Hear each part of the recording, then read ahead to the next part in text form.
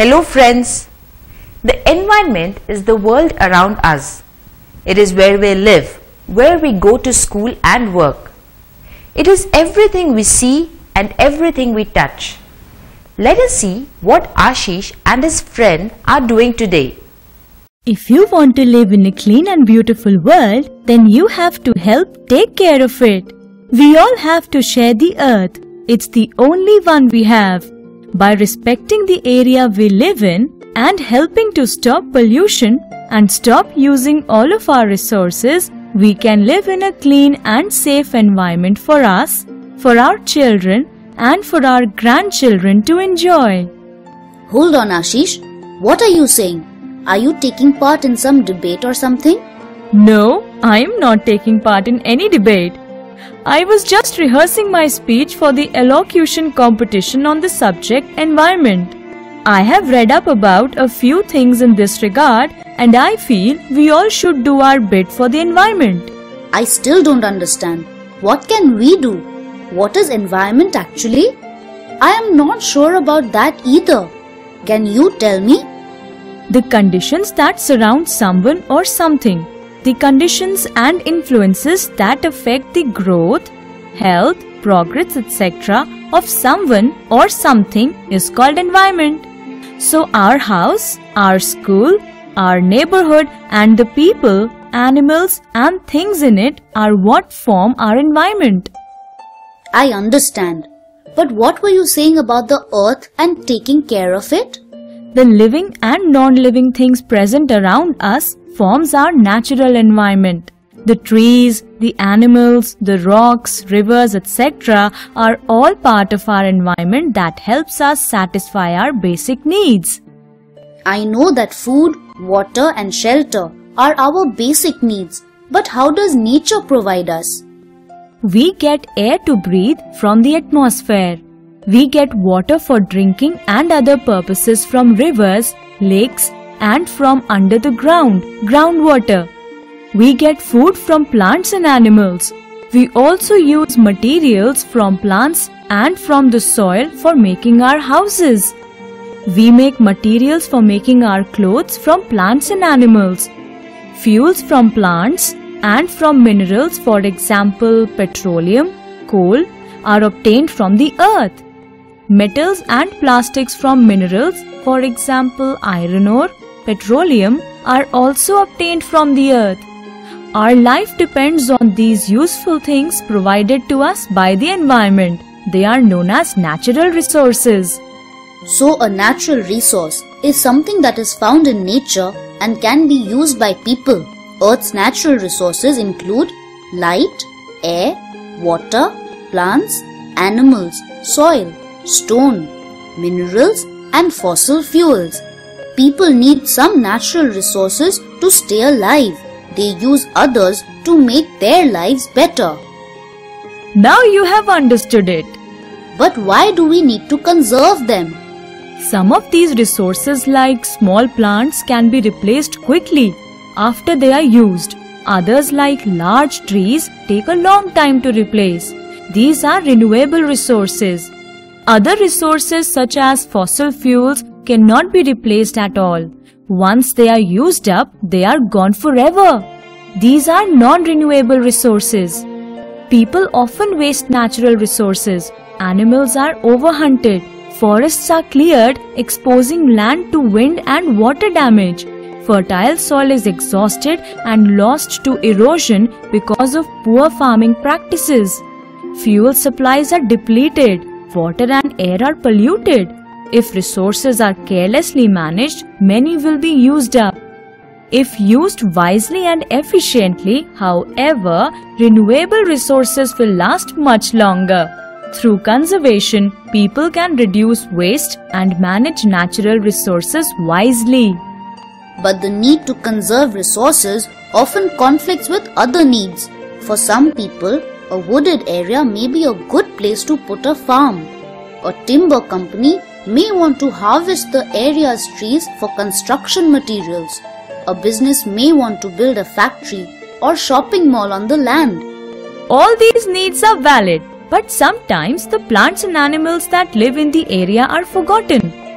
the benefits of development need to be weighed against the harm to animals that may be forced to find new habitats, the depletion of resources we may want in the future, or damage to resources we use today.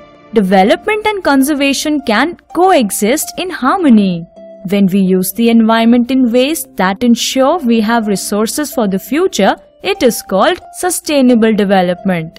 There are many different resources we need to conserve in order to live sustainably. So how do we conserve our natural resources? Let us start with air. The conservation of air is the protection and cleaning of the earth's air supply. Air pollution can be caused by many number of sources including transportation, power plants and factories. This pollution can cause a number of health problems so it is important to practice air conservation when possible. This can be done by reducing emissions produced by personal as well as business activities. Do tell me more. The pollution of air can occur from many number of different sources. The fuel burnt by cars and other modes of transportation is a major source of air pollution. Manufacturing plants and power plants can also be large sources of air pollution, but the amount of pollution may vary depending on the type of factory. Too many greenhouse gases in the air, including carbon dioxide and methane, have an effect on global warming. Too much ozone can also be a problem because it can cause respiratory problems for some individuals. Other dangerous chemicals such as mercury may escape into the air and cause acid rain. Large amounts of smoke can also be unsightly and ruin the aesthetics of many city and natural landscapes. So what can we do? Instead of driving in individual cars, we can carpool or take public transportation whenever possible. Likewise, efforts to conserve electricity used in the home can also help in air conservation as can the use of renewable energy sources, which are pollution free to provide electricity. Is the government involved in any way? Restrictions have been placed on the amount of pollution that some types of large factories can emit. Inspectors are assigned to measure the level of emissions that are produced by certain factories and big businesses to make sure that they are following emissions law that are designed to promote the conservation of air. How to conserve water? Do you remember the water cycle we were taught in school? Yes, some of the water that falls as rain seeps below the ground. It collects in the soil as groundwater. In many cities and villages, this is the main source of water. People dig wells or install water pumps to get this water. As we use up this water, it gets put back by rain. However, if we use up this water very fast, it cannot be replaced completely by rain. So it goes on reducing. This is what is happening in many cities today. Groundwater is reducing and people have to dig deeper and deeper to get this water. There is already severe water shortage in several cities in India. How should we tackle this problem? First of all, we must reduce wastage of water. For example, never leave tap water running when you brush your teeth. Never use a water pipe to wash your vehicle. Instead, use water taken in a bucket. Be careful not to waste water while watering the plants. That is simple. Next, we should not allow water to get polluted. Sewage and wastewater from factories should be treated to clean them before throwing them into rivers or lakes. What is water harvesting? Scientists have developed a simple method of increasing groundwater. It is called rainwater harvesting. The rainwater that falls on the roof of our houses is not allowed to go waste. It is filtered and then sent into a deep hole in the ground. It thus adds to the groundwater. If everyone in a city follows this method, the groundwater problem can be solved. What about soil conservation? In order to conserve the soil, the topmost layers must be preserved. It is the ideal layer for the growth of plants. The fertility of the soil must be restored. It occurs by the fixation of nitrogen, green manure, adding the manures and fertilizers, extracting the minerals from decomposed roots and leaves along with the use of animal excreta. The minerals have the ability to pass to the soil via rain. The soil erosion must be prevented. It occurs by the wind and water. The erosion is prevented by the crop rotation, mulching which leads to decrease in the evaporation and increase in the absorption, presence of suitable outlet channels which can carry the water, sowing of certain crops which check the erosion and include the grasses, groundnut, pulses and berseem. The planting of trees also checks the erosion. The control on grazing and the terracing of lands which decrease the speed of water also keeps a check on the erosion. The contour bunding has an ability to hold the rainwater and control erosion. Wow, Ashish, you know a lot about conservation. Do tell me more. Forest conservation is the practice of planting and maintaining forested areas for the benefit and sustainability of future generations. Forests are an important natural resource. They provide wood, prevent soil erosion, and protect wildlife. Forest conservation involves the upkeep of the natural resources within a forest that are beneficial to both humans and the ecosystem. Nature replaces the trees that die out or are cut down.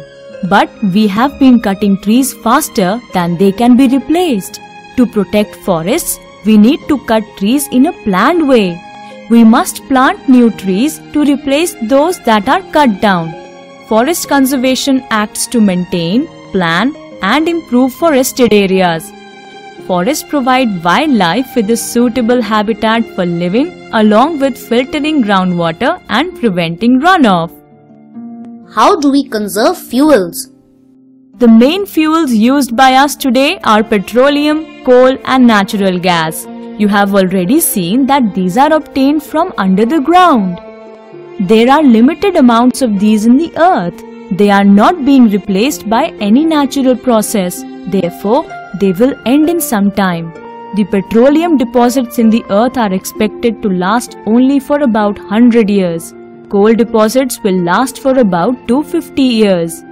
To conserve these resources, we have to avoid wastage of fuels and energy. Our scientists are also trying to find substitutes for these. For example, they have developed methods of using energy of the sun for cooking food, heating water or for making electricity. They are trying to improve these methods so that we can use them in our daily lives. Now the only resource left is minerals. How do we conserve them? The amounts of minerals in the earth are also limited. They are not being added by any natural process. One method of conserving them is to use them again and again. For example, broken glass bottles and metal cans can be melted and used to make other things. This is called recycling. Even paper which we make from wood can be recycled. This saves more trees from being cut down. How can we recycle paper? You will need some waste paper from an old newspaper or magazine. You will also need a little starch, a bucket, mortar or pestle or anything else to pound the paper and a fine flat wire mesh. I have all of these at home. Okay, then tear the waste paper into small pieces. Take warm water in a bucket and add a little starch to it. Soak the paper in the water for 4 to 5 hours. Take the paper out of the water and pound it with the mortar and pestle till it becomes soft and pulpy. Add more starch to it to thicken it. Spread this pulp on the wire mesh and press it to squeeze the excess water out. Now turn the wire mesh slowly upside down from a smooth surface and put some weight on it. Once it dries up, your handmade paper is ready for use. What can we use this paper for? You will not be able to write on it, but you can draw on it or use it for some other purpose. I feel we should adopt some changes in our lifestyle too so that we cause minimal harm to the nature. Now you got it. To conserve natural resources, we should follow the policy of 3 R's. Reduce, reuse and recycle in our daily life. In our daily life, reduce the amount of waste, for example, by buying things that do not have a lot of packaging, not buying things unnecessarily, and by not wasting energy. Reuse things instead of throwing them away. For example, reuse paper printed on one side to write. Reuse mineral water bottles to store water. Recycle things that can be used to make new useful objects. Example, by selling old newspapers and broken pieces of glass and metal to a waste collector who will take them for recycling. Come, we must tell all this to other friends as well. So friends, remember the living and non-living things present around us forms our natural environment. The trees, the animals, the rocks, rivers, etc. are all part of our environment that helps us satisfy our basic needs. The useful things that our environment provides us are known as natural resources. Some important natural resources are air, water, soil, forests, fuels and minerals. Natural resources are renewable or non-renewable in nature. Our resources are limited and we must conserve them by not wasting and polluting them. To conserve natural resources, we should follow the policy of 3 R's. Reduce, reuse and recycle in our daily life. So till the next lesson comes up, take care of yourselves and be good. See you soon. Bye-bye.